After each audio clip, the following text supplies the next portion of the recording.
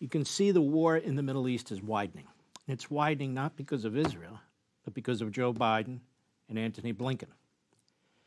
Appeasement, equivocation is a provocation for our enemies. Not that they need one, but you can see how they conduct themselves very differently under the Biden regime than they did when Donald Trump was president. And it has consequences for us. We have men and women in the theater, they're being shot at, they're exposed, and this administration has gone weak kneed. It will not attack Iran directly, and of course, it has the voices of isolationism and Islamism in our own country urging them not to. But that puts our troops at great risk. Iran is on the precipice of having nuclear weapons. Can you imagine what it'll do with that? Iran has essentially conquered Lebanon, Yemen. Iran is conquering Iraq. Iran owns Hamas, lock, stock, and barrel. Iran has created Hezbollah, and what is our administration doing? They're funding them all. They're funding terrorism and they're funding Iraq, Iran. In addition to that, they're making these public relations moves to make you think that they're doing something, like the Houthis. The Houthis were on the American terrorism list under Donald Trump. Within 48 hours of becoming president, Biden removed them, as he removed the sanctions against Iran and billions poured in to rearm Iran. The fact is also, when it comes to the Houthis, what they did last week was nothing. It had so many exceptions to putting the Houthis back on the terrorism list that the Houthis in Iran see it again as absolute 100% appeasement weakness. The only strength anybody sees is the attack by the administration, by Blinken, working the Arabs, working the Europeans, working the international community against the Israelis. It is really a shocking thing that we are watching right now. And so I want to remind you of what Robert Gates, former Secretary of Defense and National Security Advisor in a Bush administration, he was asked on 60 Minutes, you wrote in your book that Joe Biden, quote, he's been wrong on nearly every major foreign policy and national security issue over the past four decades. And Robert Gates was asked, and he said, look, I think he's got a lot wrong pointing out Biden's opposition to, quote, every one of Ronald Reagan's military programs to contest the Soviet Union. So when he was a senator on the Foreign Relations Committee, when Ronald Reagan was trying to build up the military, trying to take on the Soviets, not so much militarily, but economically, but to muscle up our military, to confront them all over the world, in our hemisphere, in North Africa, and of course in parts of Europe, Biden was opposed every step of the way. Biden is a disaster. A disaster. And it's not just Biden. Antony Blinken was Biden's staffer through all this on the Senate Foreign Relations Committee. He was director of that committee when Biden was chairman. And John McCain, as I've pointed out before, he went to the Senate floor in 2014 and he did something that he never did before. It was extraordinary because he and Biden were pretty close. Barack Obama nominated Blinken to be Deputy Secretary of State obviously on the recommendation of his Vice President, Joe Biden. And he rose on the floor of the Senate, and McCain said, I rise to discuss my, my opposition, opposition, to the, to the pending uh, vote concerning Mr. Antony Tony Blinken, who is not only unqualified, but in fact, in my view, uh, one of the worst uh, selections that of a very bad lot that this president has chosen. McCain noted that it was not very often that he openly opposed a presidential nominee on the Senate floor, as he believed elections have consequences. But he warned that Blinken was a danger to the nation and its service members, and that's a quote. He said, quote, in this case, this individual has actually been dangerous to America and to the young men and women who are fighting and serving it. These are the two men right now who are destroying our foreign policy, who are destroying our security, and if they have their way, will destroy the entire state of Israel. And they are leaking like hell. Sometimes they're on the record, sometimes they're off the record, to try and destroy the sitting government, the elected government in Israel, focus specifically on the prime minister, Benjamin Netanyahu. And this is a constant now. You see it in all the American media, and the American media obviously are stenographers for this.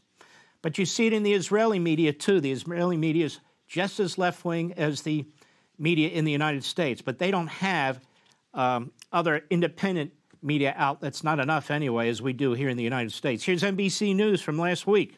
Andrea Mitchell. Andrea Mitchell is a mouthpiece for Joe Biden, who she's known for decades, when he was a senator in Delaware and she was a cub reporter in Philadelphia, right on the border. How do I know? Because I live there.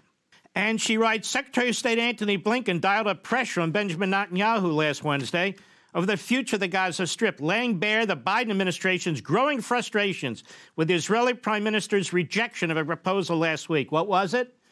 Ceasefire, aka surrender, help rebuild Gaza, make sure the Palestinians control Gaza, have a, a second country for the Palestinians in Judea and Samaria, surrender your own ancestral homelands.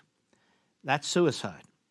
Blinken's comments made during an interview with New York Times columnist Thomas Friedman. Thomas Friedman is really a, a very stupid man, in my view, but he's handed out, you know, Pulitzer Prizes left and right, which proves he's a very stupid man. His columns are very poorly written. Many people have criticized him for that.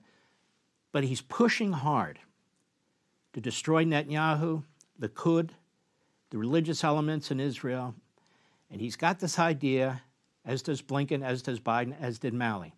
By building up Iran, by building up the Palestinians, by building up the Arab and Muslim countries, if you can believe this, tiny little Israel, by demilitarizing it, by regionalizing the whole situation, by assimilating their cultures, peace will break out. Insanity. And what if they're wrong? What happens to Israel? Israel's obliterated as are the Jews. And of course, they are wrong. And it's more. Senior U.S. officials said that Blinken deliberately began last week's trip to the Middle East, his fourth since the war began, visiting the Arab nations rather than Israel in order to bring Netanyahu a unified Arab post war proposal. So Blinken is a special pleader for the Arab countries, the Palestinians, and against Israel. Good lip service on Israel, but you can see how they're playing it both ways. Here's another one in Jerusalem. So Blinken, uh, Secretary, or Secretary of Defense, and others are now meeting independently with members of Netanyahu's cabinet to undermine him. They're meeting independently with opposition party leaders like Lapid, left wingers, also very stupid people. They're literally trying to force an overthrow or a coup of the existing government in Israel actively, openly, by organizing the Arabs against them, by organizing opposition parties against them, by going to cabinet members independently. Have you ever seen anything like this before? Biden and Blinken would never do this to another country, but they do it to this Jewish country because they feel, what are they going to do about it? Biden's kissing Xi's butt. But look what he does to Netanyahu. He's a chip off of Obama's block. And here within Israel, it's working. Or at least that's the attempt, according to the Jerusalem Post, which used to be a fairly legitimate paper, not so much anymore. While the Likud's ministers and Knesset members are projecting a united front in support of party leader Prime Minister Netanyahu, a growing number of them believe that his days at, at the party's helms are numbered, sources in the party said to the Jerusalem Post. In addition to the catastrophic events of October 7 and a growing sense amongst the party's base that the prime minister will not deliver on his promise to destroy Hamas and return all hostages. The members have noted the party's poor performance in most recent polls. You have the media in Israel, the media in the United States, Biden Blinken, the executive branch, the Democrats in Congress, led by Bernie Sanders, who put out a resolution that was defeated.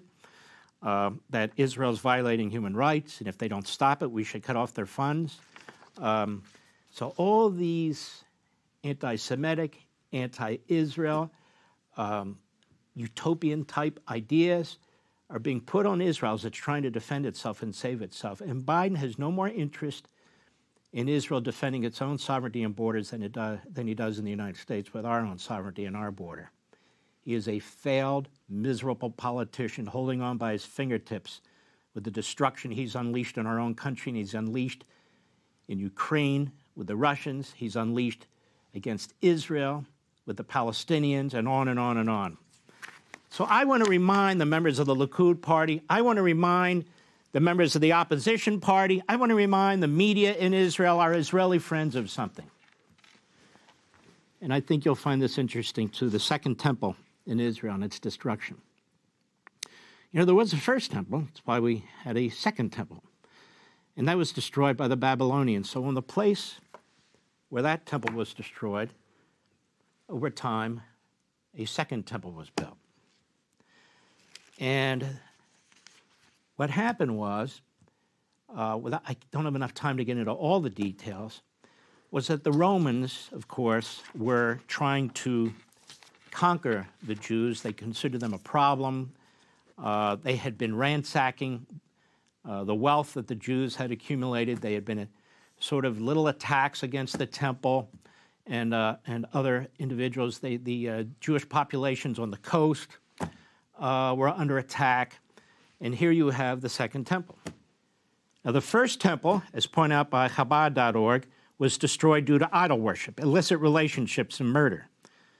As sages attribute the destruction of the Second Temple, this is the key, to the baseless hatred that prevailed among the Jews. If the Jews had been united, they would have merited God's protection, says Chabad.org. They would have withstood the Romans. It was the factionalism among Jews that ultimately brought about the destruction of the Second Temple. What you had behind those walls were Jewish factions with different views, different politics, different approaches to their faith. They were killing each other. They were brutalizing each other. They were fighting each other behind the wall while the Romans laid siege to the city.